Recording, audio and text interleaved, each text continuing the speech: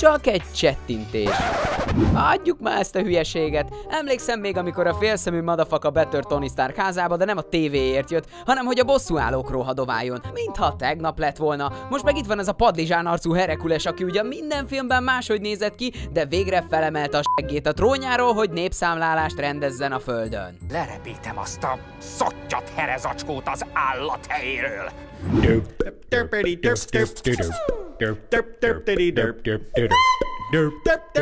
Tíz év öcsém, tíz, mintha csak ma történt volna, hogy Ben Kingsley átfurt minket egy kiló mandarinnal, meg először találkoztunk az Olszenikrekkel. Emlékeztek még, hogy egy kopasz náci játszotta a hákot, akit aztán lecseréltek Mark Ruffalo-ra? Akkoriban még az a hegyes cég tolta az egészet, de aztán mint minden királyságra erre is rátette a Disney a mancsát. De ők aztán tudják, hogy kell mindenből pénzt csinálni. Szalagadú, le bibidi babidi.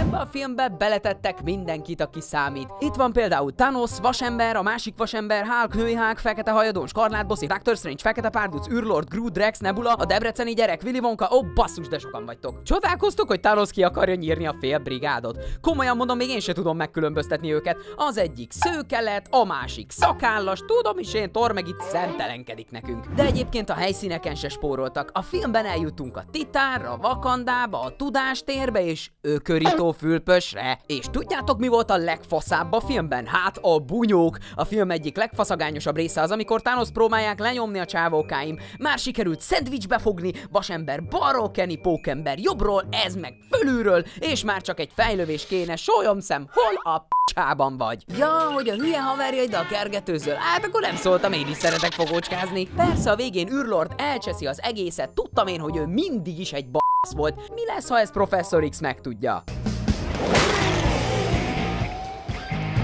Jó, de hát azért meg lehet neki bocsájtani, hisz Thanos most dobta le a csaját a hegyről. Thanos egyébként faszán össze van rakva, de tényleg, nem úgy, mint a legtöbb Marvel genya. Emlékszel rá? Rá, vagy rá, nem, nem, semmi. Hadd koncentráljak egy kicsit. Na, mi lesz már, mi lesz már? De tényleg Thanos nem ilyen, ha kell érzelmes, ha kell vicces, és egy igazi mintafater. De kegyetlen is tud lenni. Ha kell, akkor kinyír egy faágat. Én vagyok faág. Ne, ne. Recs.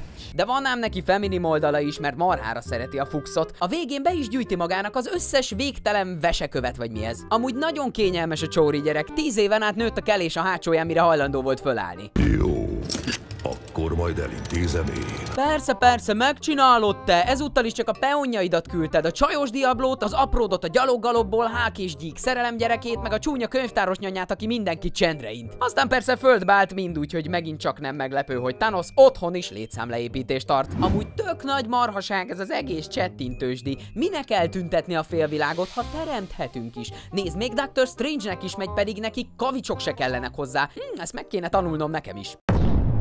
Na jó, igazából vannak olyan szituk, amikor én is szívesen elcsettinteném magam. Tűnjetek el! Gyerünk!